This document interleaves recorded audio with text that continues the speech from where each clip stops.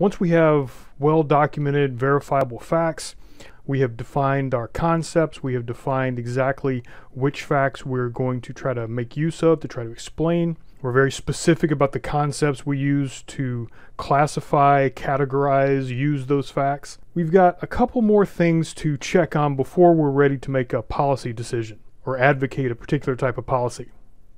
First, we have to be sure that uh, we and our readers or our audience value the same things, that we want the same outcomes. And once we know what outcomes we want, we have to decide how to get that outcome. So that brings us to our next two points of stasis cause and value. The stasis of cause or causation is also known as cause and effect or consequence. Usually it depends on what we're looking at. If we're looking to see where something came from, what happened in the past, we call it uh, search for cause. But if we're looking to decide what's going to happen in the future, uh, we call that consequence. But this is the same sort of cause and effect relationship that we're looking to understand. And when the ancient philosophers in Greece and Rome distinguished between the different points of stasis, they usually just listed four, and that's fact, definition, value, which is also called evaluation or quality, and policy, which is also called proposal.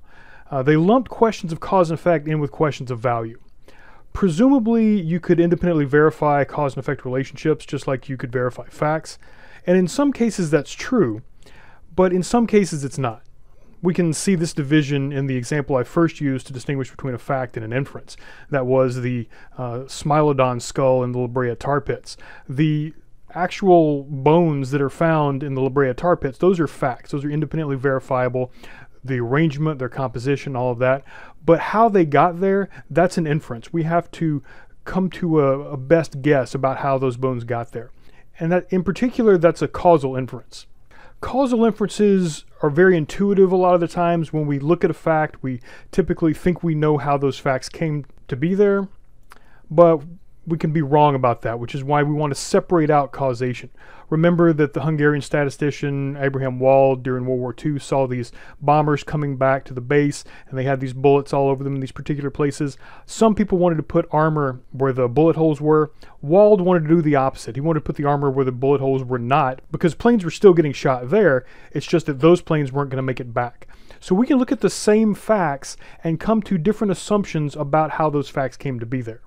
And a lot of the thinking process, both the deliberative uh, system two uh, metacognition, but also a lot of the system one automatic, non reflective, intuitive cognition, is trying to figure out how things happen in the world so that we can make things happen that we want to happen. And this isn't just true for humans.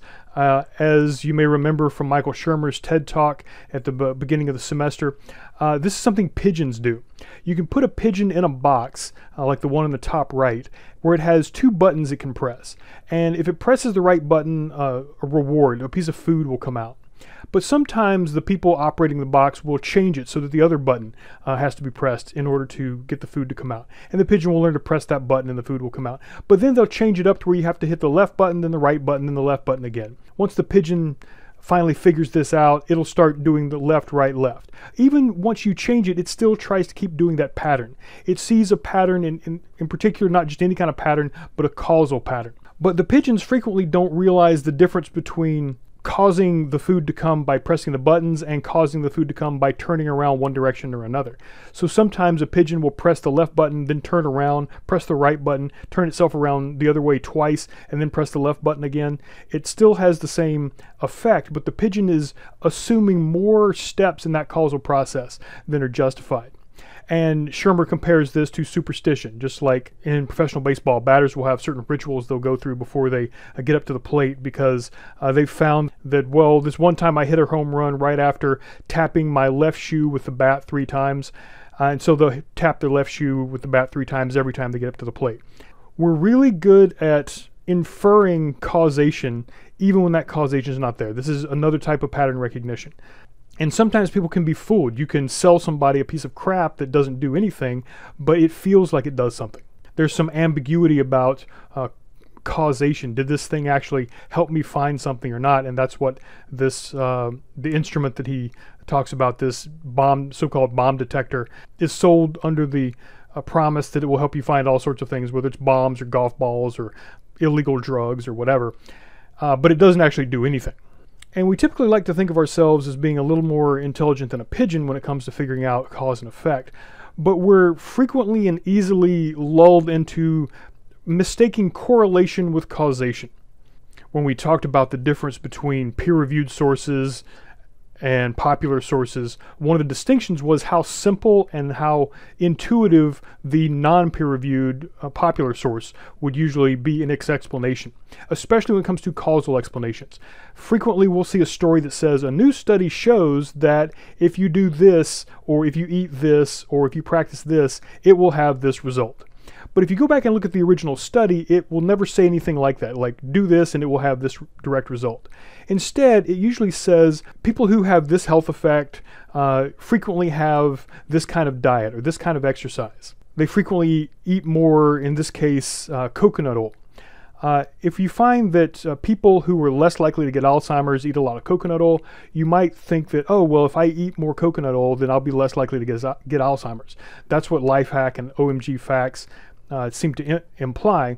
But if you check the Alzheimer's Society's uh, fact check uh, page on this, you'll see that that is not at all justified by the study that these two reports claim to be quoting.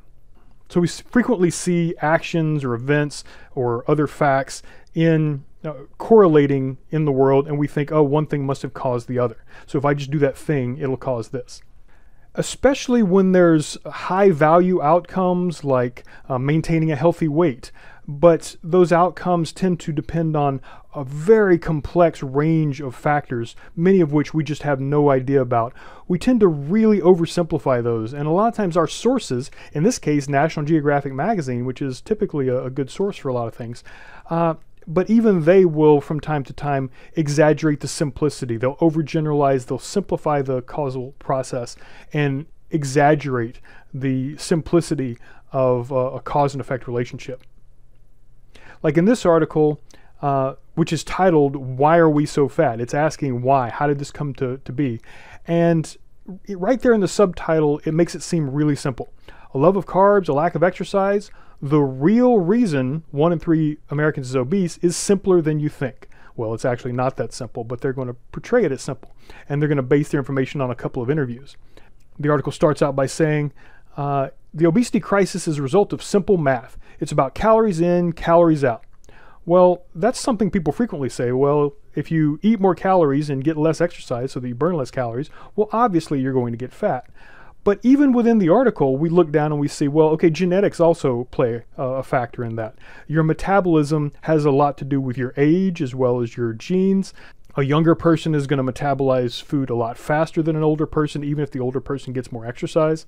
And it's also a matter of the type of calories you get. Are those calories accompanied by fiber that your digestive system needs? Are they simple carbs that immediately get stored in fat? More recent research, like the research by Stanford professor Justin Sonnenberg, has shown that the type of food you eat interacts with the particular kinds of microbes living in your gut that can digest certain things better than others if you feed your gut bacteria the right types of like plant fiber, then they'll be much better at metabolizing all the calories. If you don't feed that gut bacteria fiber, they tend to die off and they're replaced by gut bacteria that specialize on simple carbohydrates. But the ones that specialize on simple carbohydrates aren't as good at processing those. So when they study lab rats, they see that the rats that have the particular type of uh, gut microbes that can that, that depend on high fiber food, they're much better at metabolizing the same amount of calories than the rats that don't have the right kind of uh, gut microbiome that specializes in uh, high fiber food. So there's a lot more going on in your gut. There's a lot more going on with the obesity epidemic than just calories in, calories out. Uh, but calories in, calories out is part of it. The amount of dietary fat you get is part of it. The amount of exercise you get is part of it. Your genes are part of it. Your dietary fiber is part of it, and your gut microbiome is part of it. So it's a really complicated interaction of different causes, each of which impacts the other. Sonnenberg's research, like a lot of the research we do, uh, goes looking for simple answers but comes back with sometimes just better questions. It doesn't simplify the situation, doesn't make it easier to understand. That can be frustrating sometimes, but we're actually getting more accurate, even if it's even if the answers are more and more complex. But notice that uh, in the, the link there, the title of that uh, New York Times video is It's All in Your Gut, implying that, oh, it's not these other things, it's just this thing. That's not uh, Sonnenberg trying to simplify things, that's just the New York Times doing that. But that's, but that's what popular media sources do. Because we have a need for closure. We want simple answers that we can use all the time. We want to seize on the first available answer and we want to freeze on it. And we want to, to apply to everything, not just one or two things. We don't want to have to figure out the particular context and all the parts of the particular ecosystem this thing's a part of because we're more motivated by getting the feeling of knowing, the feeling of closure, than we are by actually understanding what's happening around us. And that leads us to jump to certain conclusions about cause and effect. And one of the most frequent problems we run into when trying to figure out a cause for an effect is mistaking correlation for causation. Imagine you're looking at data uh, for two different phenomena. One of those phenomena is the incidence of drowning. And you look at a calendar and you look at the number of you know, look at the number of incidents of drowning and you see that certain points of the year uh, in, incidents of drowning go up, and at certain parts of the year they go down. And you also look at another collection of data that is ice cream sales. And you notice, hey, at the same time of the year that the ice cream sales go up, incidents of drowning go up. And then when ice cream sales go down, the incidents of drowning go down.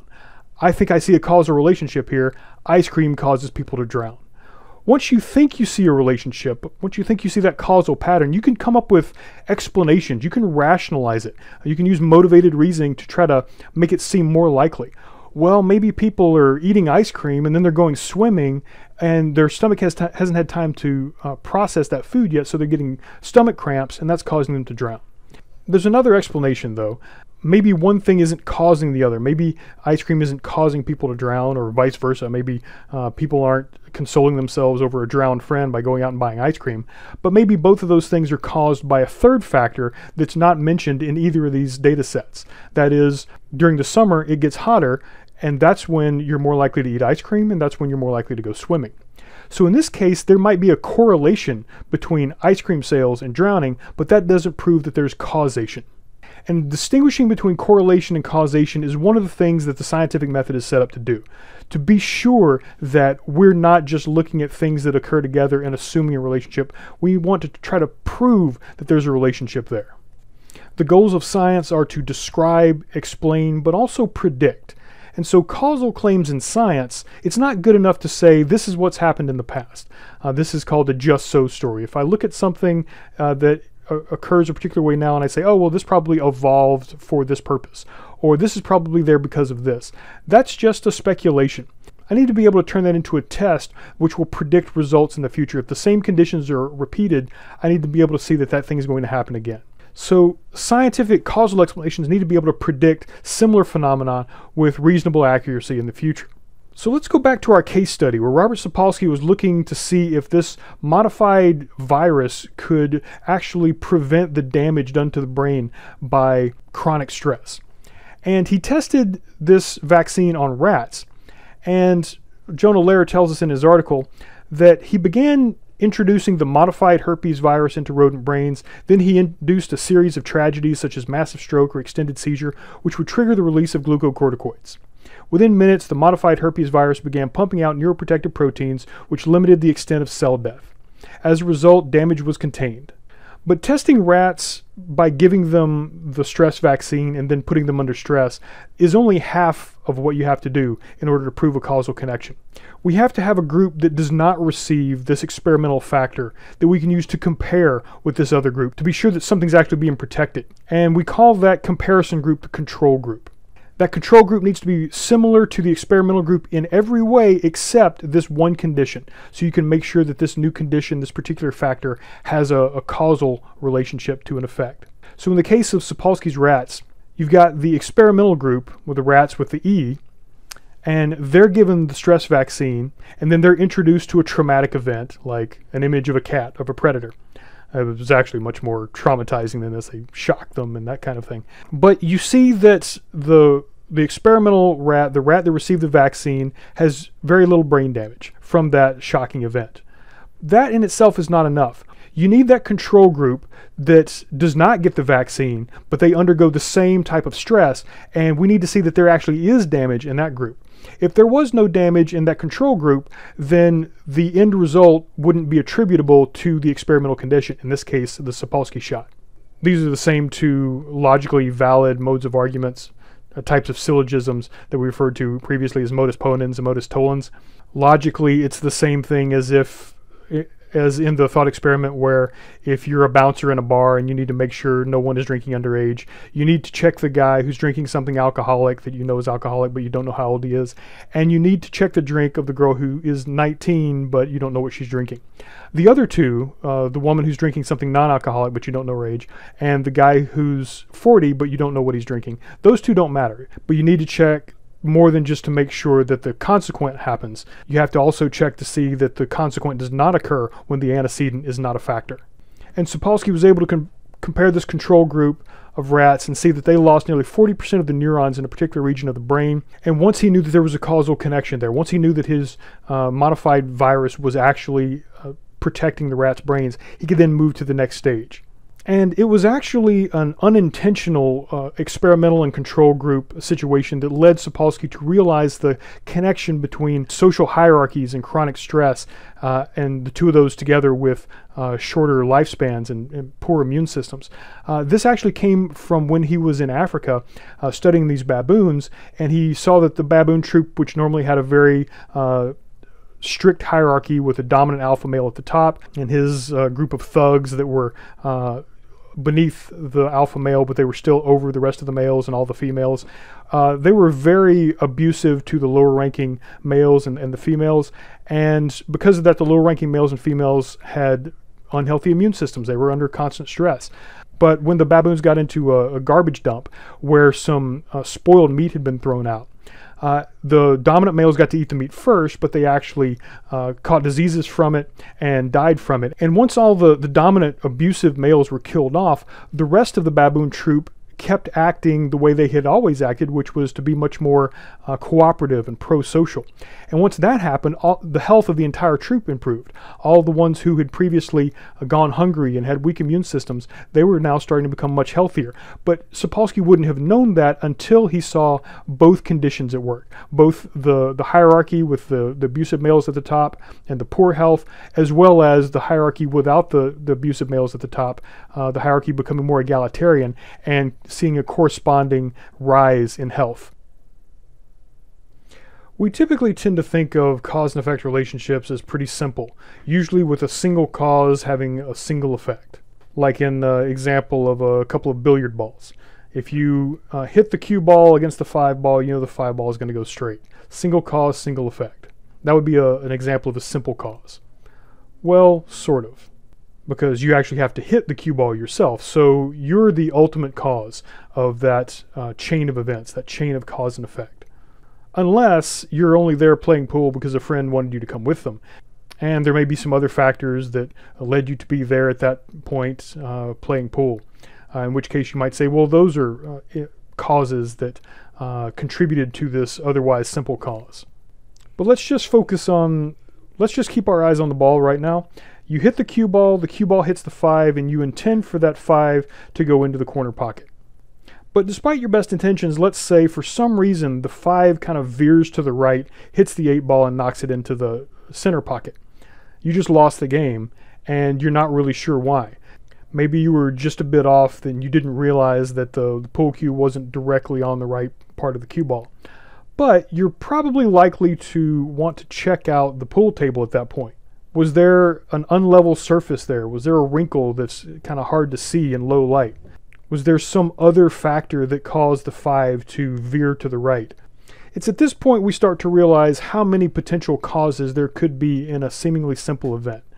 So while we like to think of causes as simple, it's easier to conceive of them as simple. Any system of cause and effect, if we look at it close enough, we'll see there are a lot more factors than we initially noticed. So it helps to separate a lot of different types of causes.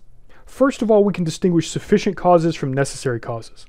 A sufficient cause is all it takes to bring about a particular effect. You don't need anything else other than a sufficient cause. The sufficient cause itself is all there is. So let's just say the cue ball hitting the 5 is a sufficient cause for moving the 5 forward.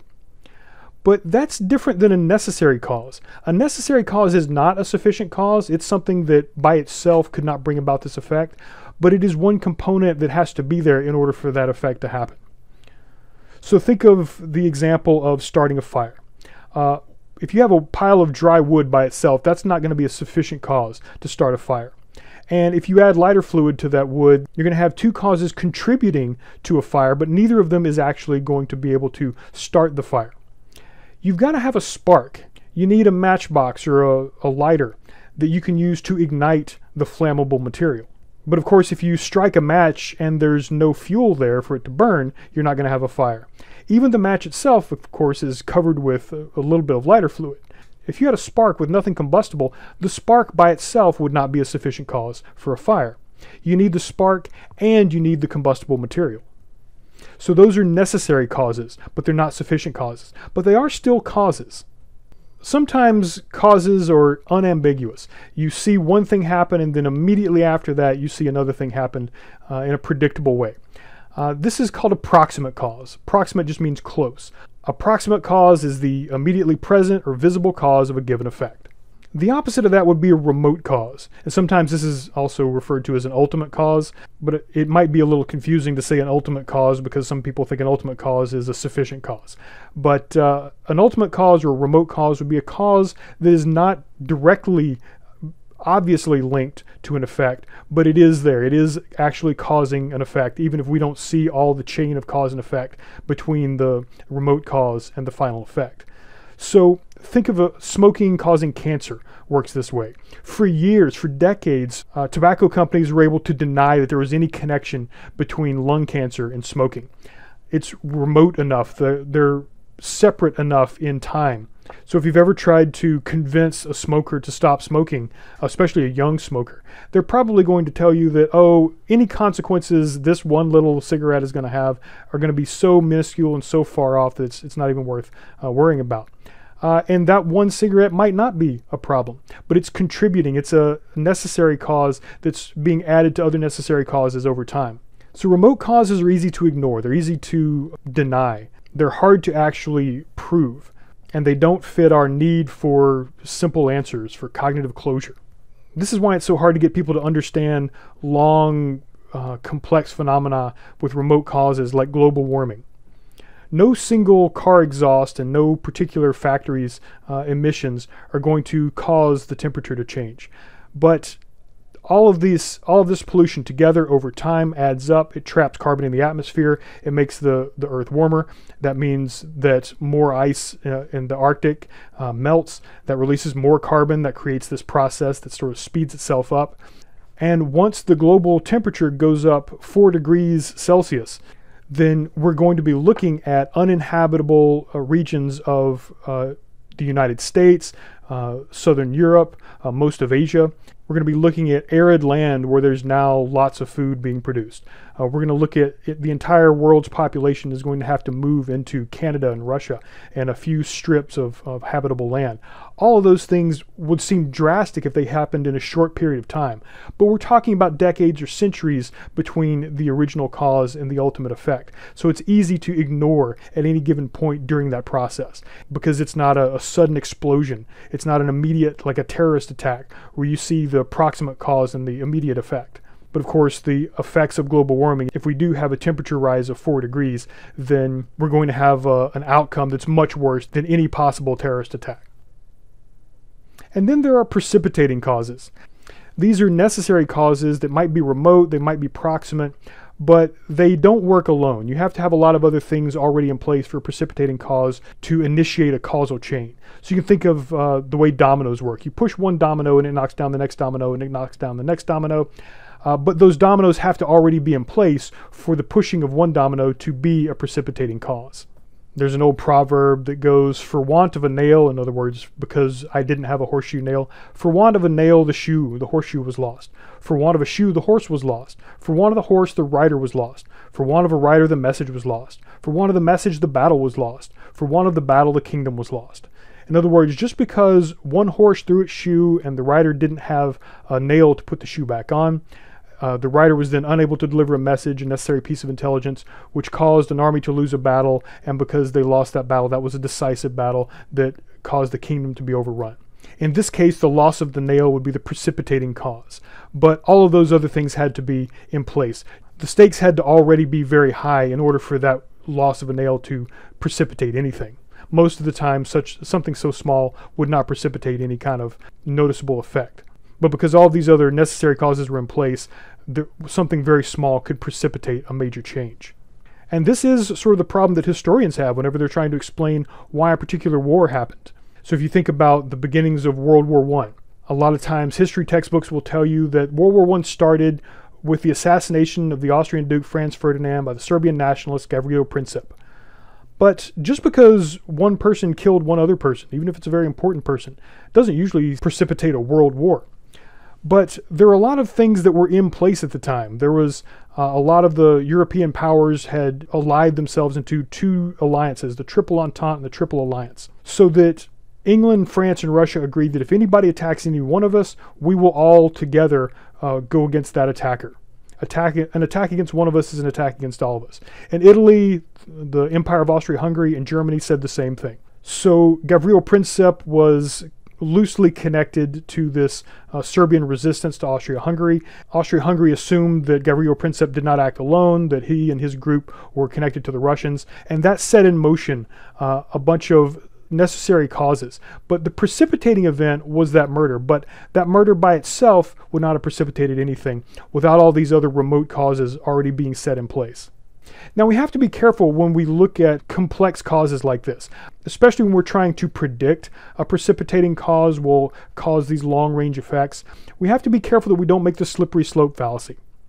That's when we presume that one event will inevitably lead to a chain of other events that ends in catastrophe. People frequently make this argument when they argue against the legalization of marijuana. They say, well, if you legalize marijuana, that will lead to legalizing heroin and cocaine and all these other much more dangerous drugs. It implies this domino effect. And domino effects can happen under the right conditions, but in order to distinguish a precipitating cause from a slippery slope fallacy, you have to show that those necessary conditions are already in place so that the precipitating cause can be provably linked to a likely outcome. And finally, there are reciprocal causes. This is when one factor leads to something else happening, and that second thing actually reinforces the first thing so that it uh, happens again.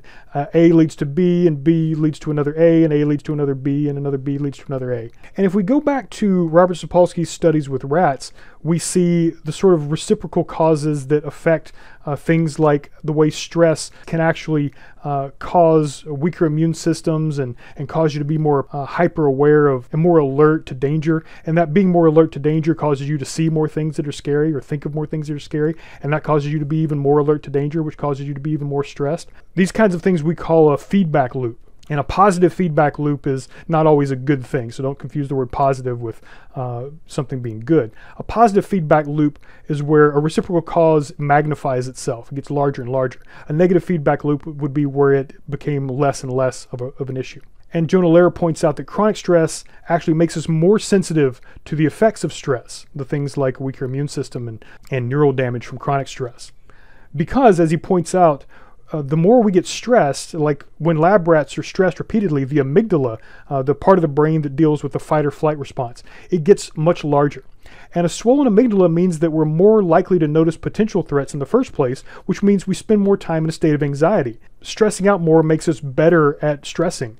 Uh, it's sort of like exercise for a part of your uh, brain that you don't want to be stronger. And the end result, as he says, is that we become more vulnerable to the very thing that's killing us. It's very similar to what we saw earlier in the semester with false positive pattern recognition. When people feel a lack of control, when they're reminded of a time when they were unable to do something, when other forces outside themselves got in the way and took control away, when you feel a lack of control, you're more likely to see threats that aren't there. And when you see threats that aren't there, that makes you feel a lack of control. And that makes you more likely to see threats that aren't there, which makes you feel even less in control there are a whole lot of these feedback loops that, that seem designed to make us unhealthy and unhappy and, and all of that. Uh, if you don't get enough sleep, then that causes you to have a short attention span the next day. And having a short attention span when you go to class and take a test uh, causes you to have poor grades. And having poor grades makes you stress. And when you stress, you don't get as much sleep. And that causes even shorter attention span, which causes poorer grades.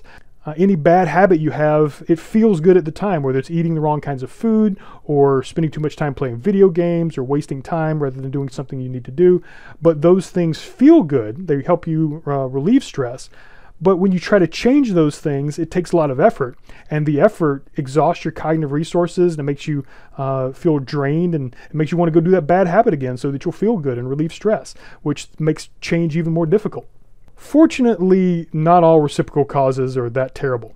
Uh, if you can just get eight hours of sleep uh, whenever it's possible, that will lead to sharper focus, and that will lead to gradually better grades, and that will lead you to gradually be able to relax more, and that will make you gradually able to get a little bit more sleep every night. Uh, when you start working out, you start getting exercise. It's, it's, difficult at first, but it gets easier because you start to develop your cardiovascular system, and that leads you to have more energy the next time you go exercise. And that leads to a good feeling. And so when you go exercise, it's more self perpetuating. It becomes an, a good positive feedback loop. But stopping one cycle and starting a new cycle is uh, usually the hard part going from not getting enough sleep and getting bad grades to getting more sleep and getting better grades. Uh, at some point, you've got to be able to sort of break one cycle and turn the, turn it around the other way. And once you can support the premise that a particular action will cause a particular result, you're almost ready to advocate a policy claim. You're almost ready to do the thing that has the best result. But first, you have to be sure that you and your audience agree on what the best result is. And that's probably going to be the most difficult part of any argument. That is evaluation or value. Once you and your reader agree on what outcome is more valuable, then you can start to advocate a particular action which will be a cause of a particular effect, and that will be your, your policy claim. But first, you have to understand how causes work, and you have to think where might somebody disagree with my representation of cause and effect? Is someone going to argue that one of the things I'm saying is a cause? Might somebody say that's just a correlation? If so, I need to go back and prove that this is a, that there is a causal relationship. Maybe I need a control group or I need to cite studies that have control groups. And then, especially if I'm talking about a remote cause, I need to be able to distinguish that from a proximate cause. Because my reader might assume, well, if I don't see an immediate proximate cause and effect relationship, then there can't be a cause and effect relationship. Then I have to define what I mean by a remote cause. I have to show all the processes involved in that remote cause. I need to show what will be the precipitating cause.